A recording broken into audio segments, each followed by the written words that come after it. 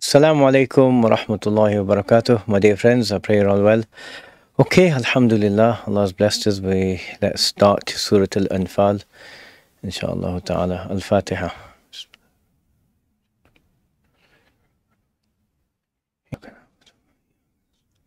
Okay.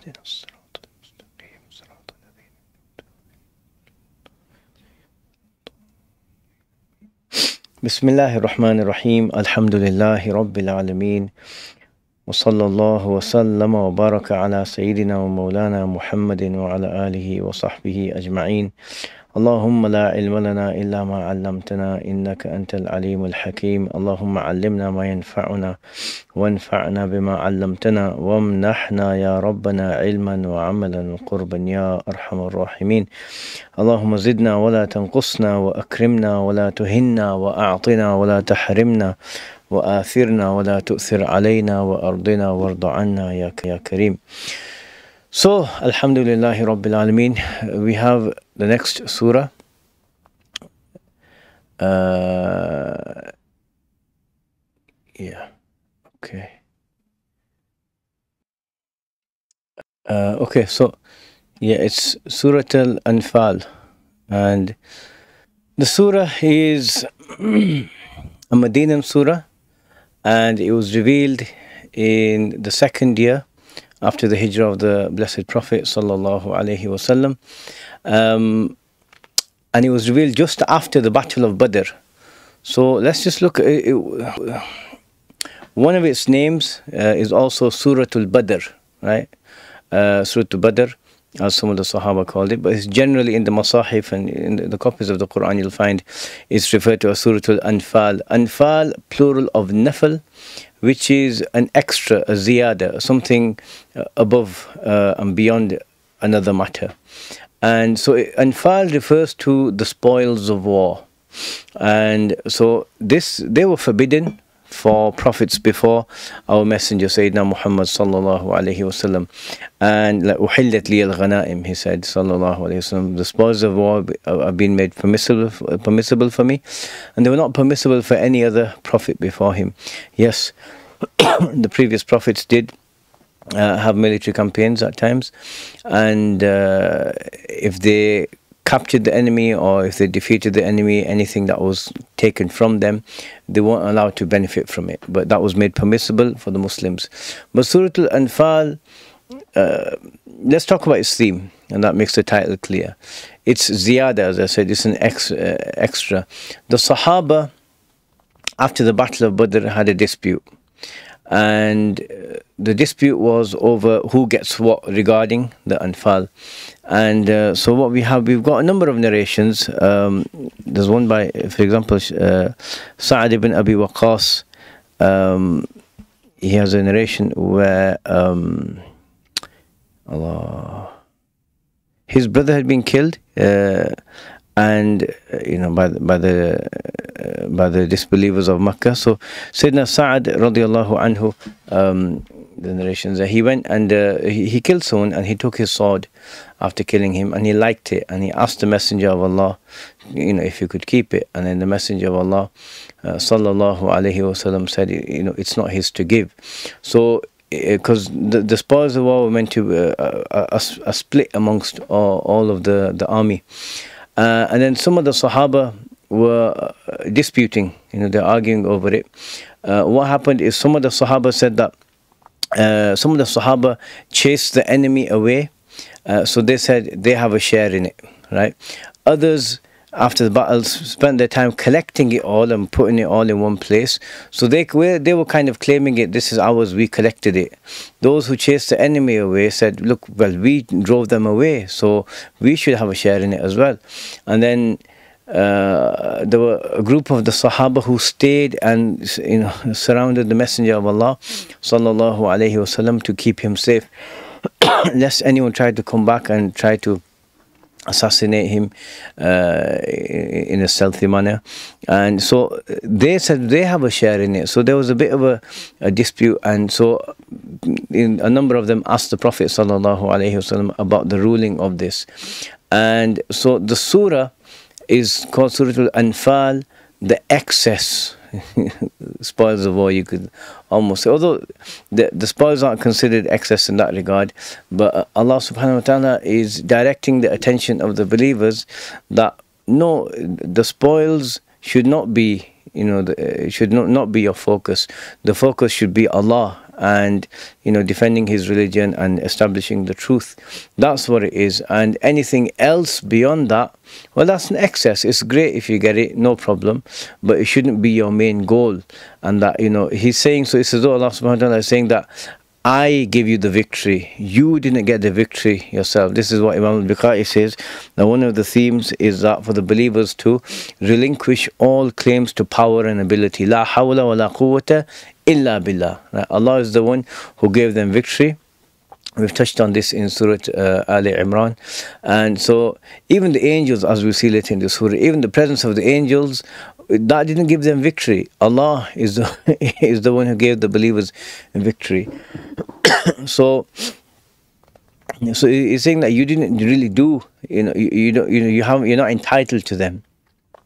And uh, so then uh, Allah subhanahu wa ta'ala gave them, said that they belong to Allah and His Messenger. And then the distribution was done after that uh, by the Prophet. So the first half of this surah talks about this, talks about, you know, that victory comes from Allah. That's the theme of the first half of the whole surah actually. And the second half of the surah focuses on the matters that give people uh, success you know, in, in, in warfare. In these situations where outward material means don't matter. We have just, without going, going too much into the actual um, background of the uh, battle, um, the Battle of Badr was the first actual major conflict, right? There was maybe one event before where people got, it was actually at Badr and people were going to, there were, there's a few people from Quraysh, few from the believers, and they were about to fight um, but uh, no blows were actually traded. And uh, so this was the first major battle between the truth and the false, uh, falsehood of Quraysh and their idolatry and everything, and the truth of uh, Allah subhanahu wa ta'ala, what had been revealed in the Quran to His Messenger Sayyidina Muhammad sallallahu wasallam. So, so being the first conflict, it was significant. And the Sahaba were outnumbered. You know, when, when the Messenger of Allah left Medina, he was actually um, the initial plan was to uh, attack a caravan of Abu Sufyan ibn Harith sorry Abu Sufyan ibn Harb um, Abu Sufyan ibn Harb. Uh, he took uh, a number of camels to Syria and uh, to trade and whatever and he was bringing the, the stock he bought all the money everything back. That stuff was uh, was it, it was Quraysh's stock. But because the believers were you know, the, the Quraysh had made it impossible for them to live in Medina, in Mecca. When the believers left Mecca and went to Medina, all of their belongings were taken and the houses, everything. Many had to leave. Many had to flee, right? You know, for their life you know, lest the, you know, um, Quraysh capture them and kill them. So everything that belonged to them was taken. So they were given permission. Fine, you know, you can uh, you can uh, recuperate your losses, you know, through this way. So the Prophet sallallahu alaihi wasallam told the Sahaba, whoever's ready, uh, let's go. And they were expecting a battle, so only 300 odd, right? This is 313 uh, people were ready uh, to leave immediately, and they went.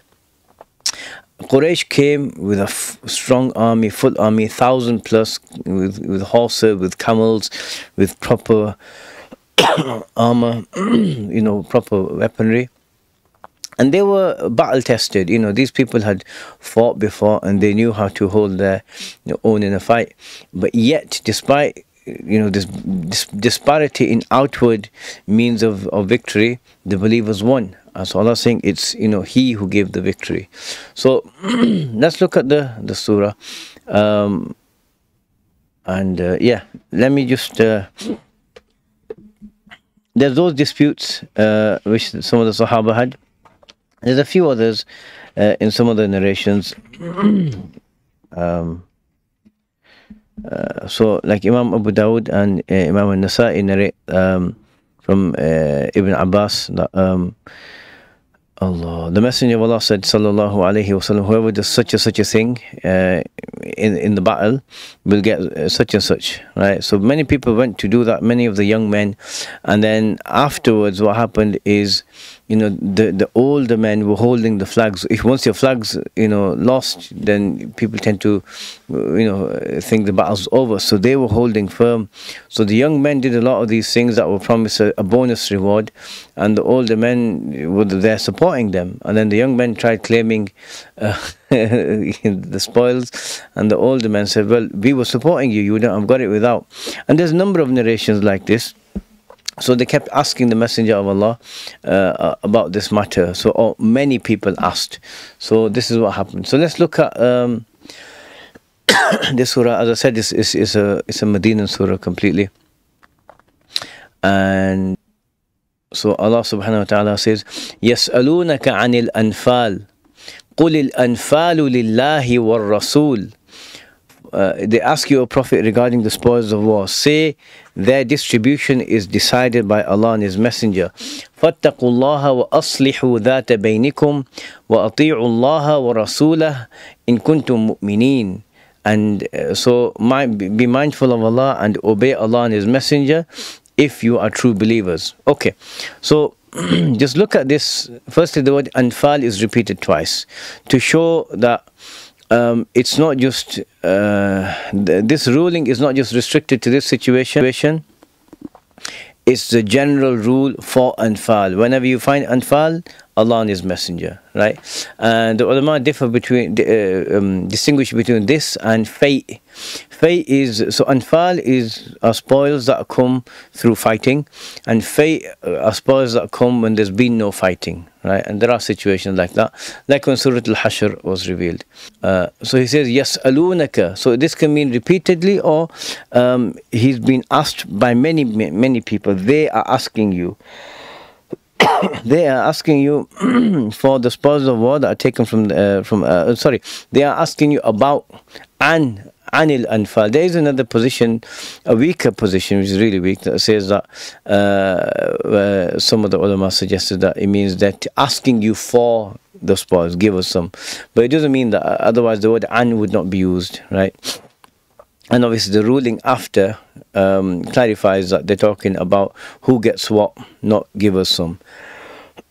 so yas'alunaka. Many people have asked you anil anfal. These uh, spoils of war, which I said the root word means it's something excess. Why are you focusing on this? Allah should be your goal, pleasing Allah subhanahu wa ta'ala.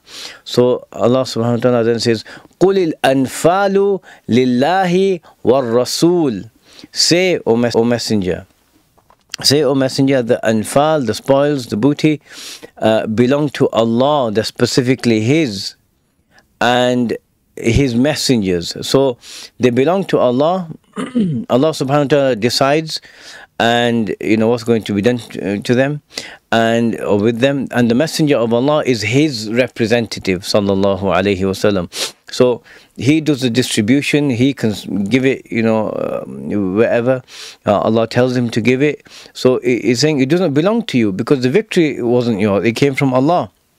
So therefore the spoils will also uh, also belong to Allah subhanahu wa ta'ala. So he says fattaqullaha so fear Allah.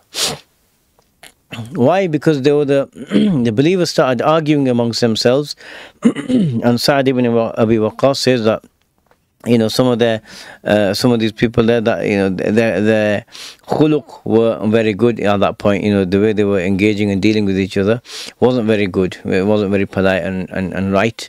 So Allah subhanahu wa ta'ala says fear Allah you know and fix things amongst yourselves. Fix things uh, you know in the way you're dealing with each other. Uh, so aslihu that so fear Allah and don't argue over these anfal ultimately the unity and the bond and the brotherhood that they had was more important uh, for them and in the sight of Allah than getting some of these ghanaim. And people slip, you know, people make, uh, you know, the odd mistake. This is why Saad said that, you know, like some of the character wasn't, you know, uh, wasn't good at this point. So Allah is reminding them, be believers. And so fear Allah, don't do this. وَأَصْلِحُوا ذَاتَ بَيْنِكُمْ So, um, ذات the word points to something which is really strong, strongly connected to something else. So that which has the bain, bain means between. So it's it's, it's a clumsy uh, rendition, but it's saying that which has everything between you. Me, so it's almost as talking about the space between them right? The thing which contains or has or owns the space between them, fix that. What is between them? It's bonds and relationships and ties. So the way one person looks at another, you know, they may have, may have been fine, but then they had this argument. And then when people, when you argue with someone, you know, you're upset for a little while after, and and the way you look at them is, is a bit different. Maybe you don't want to sit with them, maybe you don't want to engage with them. So he's saying, fix what's between you. So fear Allah, don't go down this road any further, and fix what's between you. This relationship that's between you. وَأَصْلِحُوا ذَاتَ بَيْنِكُمْ وَأَطِيعُوا اللَّهَ So he said, قُلِ الْأَنفَالُ لِلَّهِ The spoils belong to Allah, the supreme name, the absolute king. He gets to command where, where they go. And so he says, Fattaqullah, fear Allah, same name again. Remember, and this fills the Arabs with awe and, you know, you know, majesty, a sense of majesty of God, of the majesty of God. So that you know they're, they're aware of who they're dealing with. Then he says, وَأَطِيعُوا اللَّهَ وَرَسُولَهُ and obey Allah. Once again, the supreme King he is commanding you. He is telling you what to do. So obey Allah, obey Him and His Messenger. If He tells you, if you think you're entitled to something, if He says otherwise, it's otherwise. Obey and submit. Obey Allah and obey His Messenger. Right? And so don't try to do anything else and don't think that um, anything else should be the case. And then He says, In kuntum mu'minin, if you really are firm rooted believers, if you really are believers, it's not necessarily talking, if you really are people of strong, firm faith, right? So mu'mineen, the ism fa'il here, it, it, talks about someone who's rooted in faith. So, but there's a question around this now, saying, if you really are believers who are rooted in their faith, then obey Allah and His Messenger. And if you're not obeying, then you don't have this quality of firm faith. So it's it's ilhab. It's it's like it's like daring someone in English. I dare you to do this. So if you really are, like we see in Surah Al-Baqarah, fashkurullaha in kuntum uh, iyahu ta'budun. Then you know, be grateful, show show thanks to Allah if you really are worshipping Him alone right? Show thanks to Allah. So like this: be, uh, you know, be um, have taqwa. So then Allah subhanahu wa ta'ala tells them who real, true, firm believers are. If you really are, then you'll have these qualities right? إنما المؤمنون إذا ذكر الله وجلت قلوبهم وإذا تليت عليهم آياته زادتهم إيمانا وعلى ربهم يتوكلون. We're going to see uh, yeah six qualities here. Right? So here's the first few. The true believers are those whose hearts tremble at the remembrance of Allah, whose faith increases when His revelations are recited to them, and who put their trust in their Lord. So innama, this shows that this is only this, and this is obvious and clear. So it goes with the previous meaning that you know if you're not doing this, if you don't have this, then you know you should work to getting this, right? Because a true believer is someone like this. And so obey Allah. If you really are believers uh, and firm believers, obey Allah and His Messenger. You know, you want to know what a firm believer is? Here you are. Clearly, obviously, إِنَّمَا الْمُؤْمِنُونَ The firm believers are who? Uh, الذين also indicates that this is clear from them. It's like, like the well-known quality of theirs. الذين إذا ذكر الله are those when Allah, the supreme ultimate king, is is mentioned. And the ulama say when he's described eh, in a way that tells us about his majesty, his greatness, his perfection, his authority, and you know his power what happens? Their hearts are filled with awe and reverence and fear of him. So the word wajilat wajal is this intense fear and awe. And it can also contain this meaning of real like worry and you know like intensely worried about excuse me, about a matter, and uh, all of these meanings are combined. Is this the case with the believers in every situation? No, uh, because the context here this is only when, uh, you know, the, quite frankly, the, the, scary attributes of God, those, those that should make us scared of who Allah subhanahu wa ta'ala is, and, you know, He can punish anyone, and look at the punishments He's got waiting for the people of the hellfire, and, you know, He has absolute authority, He's the supreme king. You know, makes you wonder, right? It makes you makes you think twice when you know, you know, about the, you know, the supreme power and authority of God. Uh, there are other situations where he's so this is what um, this is what happens to the firm believers you know where when there's something they should be doing uh, otherwise right?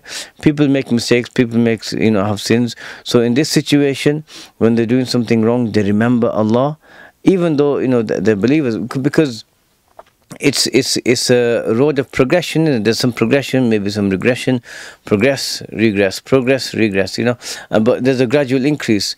And so they make tawbah when they make mistakes and these sorts of things. But when they remember the punishment of Allah, the absolute authority and supremacy of Allah subhanahu wa ta'ala, they're filled with awe.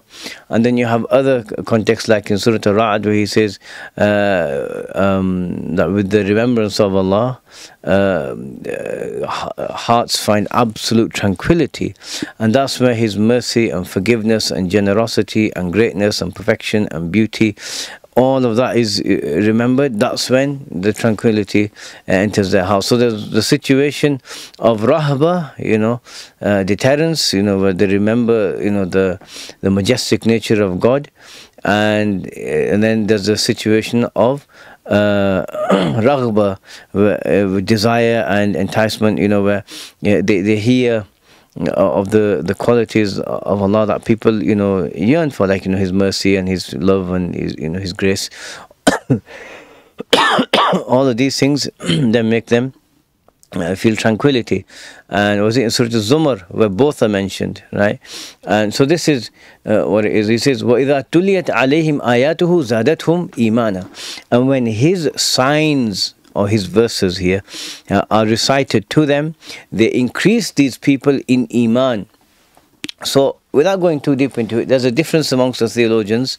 Um, the majority of the scholars of Islam, as Imam Alusi mentions, uh, they say that uh, one's Iman increases and decreases. And that's the position of the Ash'aris, it's the majority position in the Ummah the scholars of the Ummah. Uh, and most of the verses of the Quran indicate this. Imam Abu Hanifa and a number of his students and others uh, say, look, Iman doesn't increase and decrease, but rather what increases is a person's taqwa, the ability to do good and avoid bad. That can increase and that can decrease.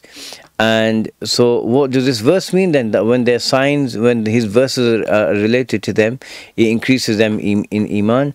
they say when what they say what this means that when new verses are revealed revealed to them, they increase in the things that they believe in. Allah's told you to believe this. They say, Ya we're ready, we're here. We believe in this as well. That it's come from you. It's all true right? Strong position, but the former is stronger uh, because the, the wording is literally this Zadatum Imana, that when the verses of God, not necessarily the new ones, when the verses of God are recited to them, um, it increases them in faith. So there are some of the ulama, like Imam al Razi, he said that both positions are actually the same thing right and he has he said it's just a semantic difference but uh, the strongest position that no it's literally um, uh, an increase and decrease of iman. Even if you say iman is, um, what they say iman is tasdeeq, uh, is an affirmation of the heart that this is true, I submit to it. And that changes, that varies because, you know, you can believe something, yeah, that's true, but then when you've seen evidence, evidence of it 10, 20, 30 times, your conviction in it is a lot stronger than, you know, the, the first time you hear about it and you say, yeah, I, I could believe that. Yeah, I believe that. But you know like someone you know uh, telling you about something about someone you know and you think yeah I, I, yeah I can see that person doing this okay I believe you. But then when you've gone and seen it yourself and repeatedly your your conviction is stronger. So that's what they're saying. And uh, so what, what, happens to these believers in the context of when they're reminded of you know the, the rigor and the majesty of Allah subhanahu wa ta'ala? Their hearts are filled with awe and fear and when his verses are recited to them they increase these people in faith it rejuvenates them and refreshes them and they, they, they affirm the truth of these verses and you know they benefit from them right they increase them in faith so they're able to face the challenges that come to them uh, وَعَلَى رَبِّهِمْ يَتَوَكَّلُونَ and these people in their Lord place their full trust. So tawakkul from tawkil, which is where you choose Allah to take care of your affair for you, right?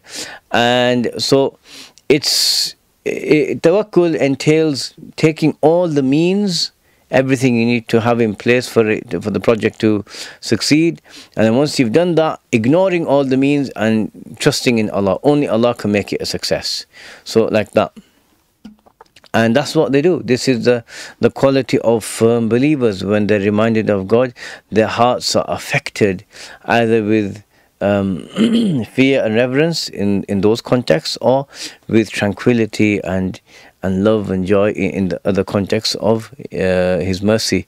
And when Allah's verses are, are, recited to them, they were affected and it strengthened and increased their iman and uh, and they, they place a full trust in Allah subhanahu wa ta'ala.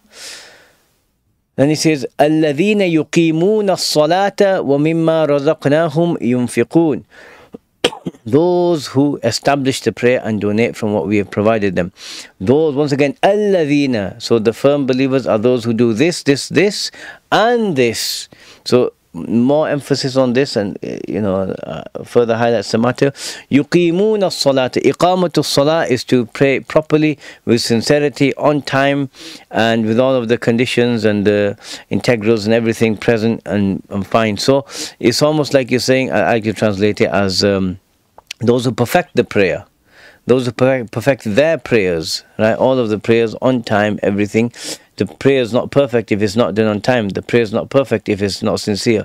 The prayer, prayer is not perfect if it's not done in according to the teachings of the Messenger of Allah sallallahu alaihi wasallam. And then he says, وَمِمَّا رَزَقْنَاهُمْ And from some of what we have provided them, يُنْفِقُونَ right?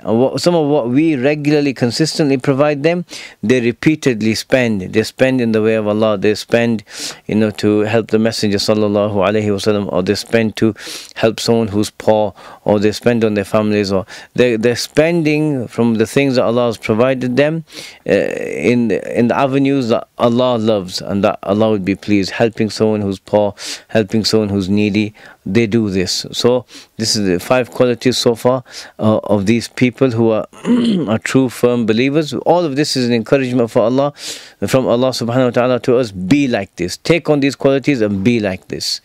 Right? and then he says, uh, أولئك أولئك هم المؤمنون حقا right لهم درجات عند ربهم ومغفرة ورزق كريم It is they who are the true believers. They will have elevated ranks, forgiveness, and an honorable provision from their Lord. These are the people whom, so ulaika, those people who do, who, when you say ulaika, you bear in mind all of the previously mentioned qualities. You also bear in mind that these people are known for them and they're distinct uh, from others because of these qualities. and then he points to them whom, that this is for Hasr, they alone are the true, firm believers haqqa. It's like you're saying, I affirm this with a true affirmation, right? Haqqan, right? So they these people have realized the you know the, the deepest realities of faith and you know they, they've affected them to the core of their beings we have one example of this let me give an example uh, one of the Sahaba, right? This is narrated by Imam al-Tabarani. Some of the ulama have said is a hasan hadith, but regardless, you know, we can uh, look at the bene- look at this hadith for the, for this benefit that's being mentioned. So uh, there was a, a, young Sahabi called Al Harith ibn Malik, right? Al Ansari, and I believe he was asleep in the mosque, and the Prophet sallallahu woke him up uh, after sunrise, and uh, uh, so it's Harith, or in some of the uh, narrations, Haritha. But anyway, he said, كيف أصبحت يا Harith? Harith, how are you this morning? Uh, and the, uh, the Sahabi said, أصبحت مؤمنا حقا. Um, this morning I'm a true, firm believer. So the Messenger of Allah sallallahu alayhi wasallam said to him, "Unzur ma taqul, watch what you're saying. فإن لكل شيء حقيقة. فما حقيقة إيمانك? Watch what you're saying, or you know, look at what you're saying. Everything has a reality of like you know what's there to show. What's everything has something that proves it. Uh, what's the reality of your faith? You know, he said. So Harith said, "Azafat nafsi an dunya." My my soul is like it's it's unattached to this to this life right? It's, it's not uh, it doesn't mean there's no vibrance in his life forever but it, it's not the focus and the goal of his existence rather the pleasure of Allah subhanahu wa ta'ala. So what has he done because of that? for ashartu layli he said I've made my night stay awake. Eloquent way of saying um, uh, I stay awake all night, i.e., in the prayer. وَأَضْمَأْتُ نَهَارِي And I've made my daytime thirst, meaning he fasts in the day. وَكَأَنِّي أَنظُرُ إِلَى عَرْشِ رَبِّي بَارِزًا It's as though I can see the throne of my Lord there just clear right in front of me uh, وكأني أنظر إلى أهل الجنة يتزاورون فيها It's as though I can see the people of paradise visiting each other events of the future um, you know, Allah subhanahu wa ta'ala gave him this certainty where he was able to see things, right? And وَكَأَنِّي أَنظُرُ إِلَى أَهْلِ النَّارِ يَتَضَاغُونَ فِيهَا And so though I can see the people of hell, you know, screaming uh, in it. So when the Messenger of Allah heard this, sallallahu alayhi wasallam, this is the proof of Haritha, Haritha's iman. So he said, Ya Harith, or in other words, Ya Haritha, Haritha, Arafta falzam, you know so hold on to it. You know, so hold on to it. You know, so hold on to it. Uh, three, or oh, he, he, might have said, Ya Harith, Arafta Falzam, Ya Harith, Arafta Falzam, Ya Harith, Arafta Falzam. Um, in this narration, he said it three times. So this is a famous term now, Arafta Falzam and so this is you know those of true firm faith and those who are always confident in the promise of Allah and you know who like Sayyidina Abu Bakr as-Siddiq radiallahu anhu you know just was never you know shaken never swayed just firm always there supporting the messenger of Allah. So Allah subhanahu wa ta'ala so so far Allah has mentioned three types of worship right? One worship of the heart which is uh, their iman right? This is uh, uh, what the, the great amazing Andalusian Mufassir Abu Hayyan said that uh, Allah subhanahu wa ta'ala mentions three types of worships for them. Those of the heart which is the fear and the increase of the iman and the tawakkul. All these actions are done in, in by the heart. So their worships of, of, of the body you could say. And then uh, so sorry of the heart. And then he mentioned physical worship you know we, those who perfect the prayer. And then he mentioned financial worship and those who keep spending from what Allah has given. So as a reward for this Allah mentions uh, lahum darajatun they will high lofty amazing uh, uh, ranks they'll have. This is for the works of their heart the tawakkul and the fear of Allah. Um, and uh, the increase of the iman when they hear the verses of Allah subhanahu wa ta'ala. And the the the physical worship the, um, is rewarded by maghfirah, forgiveness, because their hands and their deeds and their bodies, you know, they commit, they they do good actions and they may, you know, commit some wrong actions. So the forgiveness is there to wipe that away, wipe, wipe away all of the the, the sins uh, from the that the bodies have done. وَرِزْقٌ kareem And from the rizq of Allah that He gives them, they spend. So He's going to give them rizq, perpetual provision uh, from their Lord. Kareem, um, this word can be used to refer to the best of something. So Al Quranul Kareem, the best recital. So Rizqun Kareem, this provision that keep, comes regularly again and again, indefinite. Rizqun, and also the word Kareem, the adjective is also indefinite. It's huge, it's amazing. All of this is going to come to them. They're going to have this, and it's going to be the very best, and it's going to be perpetual, constant, uh, should they wish, but it'll be perpetual. Uh, and this is their reward. This is what Allah subhanahu wa ta'ala says. So that's the thing that, you know, be believers, be firm believers, and be firm in your belief and your confidence in Allah subhanahu wa ta'ala, and Allah will give these firm rewards, these amazing rewards. Okay, let's stop here and we'll continue from this point, inshallah. Wa sallallahu ala Sayyidina Muhammadin wa ala alihi wa sahbihi wa sallam. Walhamdulillahi Rabbil Alameen.